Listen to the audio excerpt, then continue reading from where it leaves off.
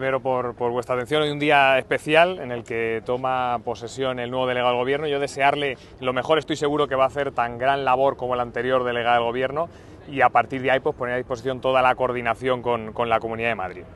Hoy es un día también especial en el que se está produciendo precisamente en Madrid una reivindicación importante, que es la reivindicación de las 35 horas para todo el personal, los empleados públicos en la Comunidad de Madrid.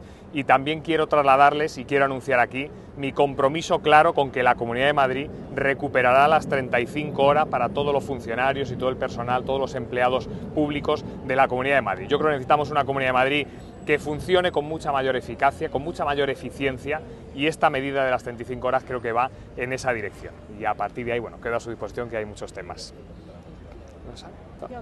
Sobre, el, sobre el, el, cambio de postura del Partido Popular, la sí. Bueno, yo creo que la coherencia política es importantísima, lo digo siempre, ¿no? Y yo creo que ahí la posición del Partido Socialista, la mía propia y personal, es muy clara, y es que estoy totalmente en contra de los vientres de alquiler, de la mercantilización de las mujeres, y además creo que tenemos que abrir otro debate, sinceramente, que es el debate de la adopción.